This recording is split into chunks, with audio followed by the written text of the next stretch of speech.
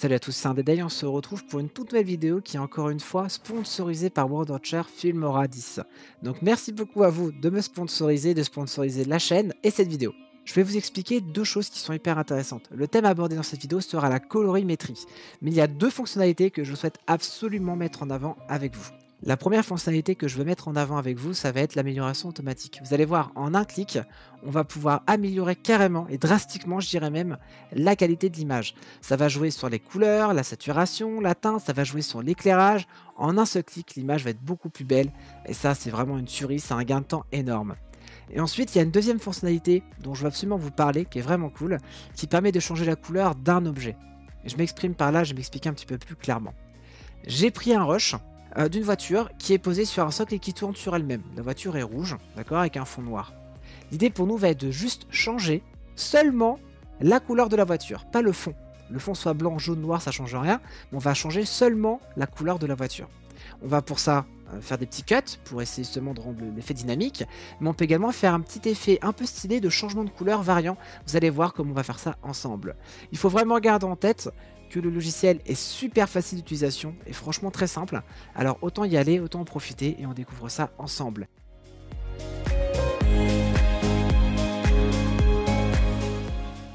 Alors maintenant, je vais vous montrer justement comment améliorer votre image en un seul clic, très facilement, et vous allez voir, ça va aller très vite. Pour cet exemple, j'ai repris le rush dans lequel justement je suis en train de présenter, voyez, c'est un peu un, petit clin d'œil que je vous fais, j'ai repris le rush justement dans lequel j'étais en train de présenter euh, cette fonctionnalité-là. Là, ce que je vais faire déjà, c'est que je vais couper le son, parce que j'ai pas forcément envie de m'entendre au double, et je pense que vous non plus, donc je vais faire clic droit, audio, et voyons, on peut la mettre en sourdine. Pareil, si je veux, je peux aussi détacher l'audio, avoir que l'image en haut, et avoir également euh, l'audio en bas. Ça, c'est des choses qui sont faisables très facilement, pareil en un clic. Pour le faire, c'est tout bête. Clic droit, je vais dans audio et détacher l'audio. Ça permet d'avoir mon audio en bas. Mais là, j'ai mis l'audio en sourdine. Si jamais vous voulez annuler quelque chose que vous avez fait, c'était RLZ. On n'en parle plus, c'est fait. Donc là, j'ai repris mon rush. Vous voyez l'image, elle est, euh, elle est, comme elle est. Hein, vous voyez, j'ai fait ce que j'ai pu. J'ai une lumière euh, qui est là qui m'éclaire beaucoup. L'autre, c'est un peu galère. Donc je vais, je vais tout bêtement double-cliquer. Vous voyez, là-dessus pour, pour, avoir le, pour sélectionner le bon truc. Et je vais cliquer directement sur amélioration automatique. Et vous voyez, l'image est certes un peu plus sombre, mais l'image est beaucoup, beaucoup plus nette. Vous voyez L'image est plus nette, ça évite d'avoir cette espèce de, de, de, comment dire, d'espèce de, de, filtre blanc par-dessus. Ça permet d'avoir une image qui est nettement plus claire. Je vois clairement la différence. Il y a aussi une autre manière de faire, si vous voulez, vous pouvez aller directement dans Effet, Utile, et vous avez l'amélioration automatique. Il suffit d'un simple cliquer glisser pour le déposer là et ça fonctionne. Mais on a quelque chose de propre. Vous voyez, l'image est beaucoup plus claire. Je l'ai quand même mis deux fois, donc euh, deux fois c'est un peu beaucoup. Mais l'image est quand même nettement plus propre que celle que j'avais au début pour le rush. Vous voyez, donc ça c'est encore un truc un peu cool. Pareil, il y a le masque. Euh, ça j'en parlerai également un peu plus tard.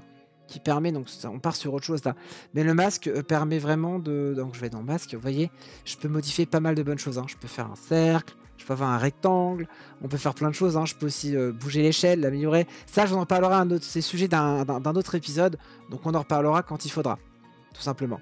Donc voilà, il y a quand même pas mal de bonnes choses à faire. On part maintenant sur le deuxième point, qui est pas des moindres et qui est hyper important.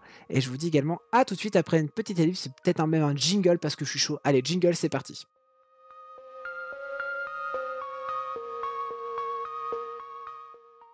Alors comme je vous l'ai dit, j'ai récupéré le rush d'une voiture qui tourne sur elle-même. Le rush est tout bête, regardez, le voilà. C'est une voiture qui tourne sur elle-même. Rien d'incroyable jusque-là. Bon. Alors, ce qu'on va faire, c'est tout simple, c'est je veux que cette voiture, elle change de couleur. Je veux pas que le, fond, ni la petite lumière sur le côté change de couleur. Je veux juste que la voiture change de couleur. Pour ça, ça va être tout bête. Je vais directement me rendre sur mon rush, vous voyez, et je vais le cutter en 1, 2, 3, 4 et 5, du coup. On est d'accord? Donc, la première partie, je vais faire en sorte qu'elle reste rouge pour qu'on puisse voir les changements. Très bien. Je vais venir ici. Je vais aller dans couleur. je vais cliquer sur avancer. Le bouton avancer juste ici. vous avez les pré-réglages. Ça, c'est plein de, plein pré-réglages en noir et blanc. Euh, pour avoir plein de plein d'effets différents. Et déjà, vous voyez, on change un peu de couleur déjà, mine de rien. Mais nous, ce qu'on veut, c'est vraiment que ce soit nous qui allons personnaliser la couleur qu'on veut de la voiture. Donc, je vais réinitialiser tout et je vais cliquer sur ajuster. Et là, on va aller dans le menu HSL. Vous voyez, menu HSL, ça veut dire, c'est de l'anglais, mais ça veut dire teinte, Saturation, luminance. Ça, c'est la version française hein, du truc.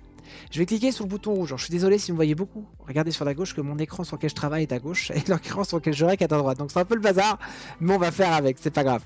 Du coup, je vais cliquer sur le bouton rouge histoire de, sélectionner cette couleur-là. C'est uniquement cette couleur-là que je veux changer. Et c'est là qu'on va devoir avoir un rôle important. Je vous voyez, c'est que je peux changer avec la teinte la couleur du véhicule. On va partir peut-être sur un beau rose pour débuter. Tac. On va prendre le deuxième rush. Double-clic aussi sur le rush. On va aller dans couleur, avancer, toujours, on change rien. Ajuster, on va aller dans HSL. Je vais cliquer toujours sur le bouton rouge. cette fois-ci, je vais la mettre peut-être en, jaune. Alors, on la met en jaune, pourquoi pas? C'est un jaune qui est moche, hein, mais je fais ça assez vite pour vous. Avancer, toujours, double-clic dessus. Ajuster, HSL. Et là, on va la mettre, pourquoi pas, en, vert. Le vert, vous voyez, moi je trouve qu'il fait gribouiller et pas très beau. Je peux changer la saturation pour qu'il soit bien pétant. Là, c'était trop pétant. Au contraire, le rendre un peu moins pétant. On peut même mettre, la mettre grise, la voiture. Vous voyez, j'enlève toute la saturation, la voiture est grise. On part sur ensuite une autre couleur. Pourquoi pas celle-ci? Hop, on double-clic, avancer. Toujours, on change pas d'équipe qui gagne. Je clique sur ajuster. HSL, on change pas. Je vais la mettre peut-être en...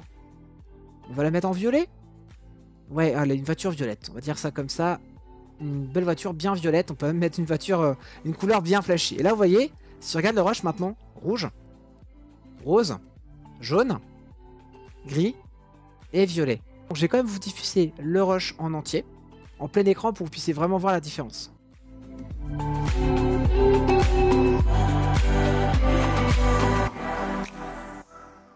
Maintenant, ce que je veux, moi, c'est simplement avoir un effet un peu différent, un effet qui va être cool. Je voudrais vraiment qu'il y ait un système de, variation de couleur, que ce soit pas juste un cut et puis que ça change de couleur. Je veux vraiment qu'on voit la couleur changer. Donc pour ça, ça va être tout simple. Je vais prendre mon rush, vous voyez, qui est juste ici, et je vais tout simplement lui appliquer une transition.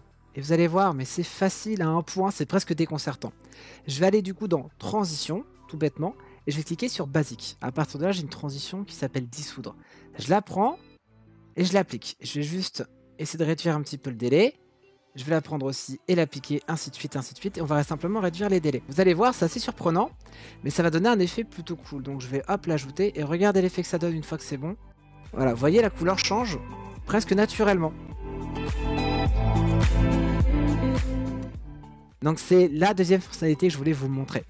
J'espère que ces vidéos vous aura plu, je vous encourage à vous abonner, lâcher le petit pouce bleu, le commentaire qui fait plaisir, et je vous dis à très bientôt pour une nouvelle astuce sur Filmora 10. Alors juste avant qu'on se quitte, j'ai oublié un truc, tout bêtement, il y a les liens dans la description, je vous encourage vraiment à cliquer dessus.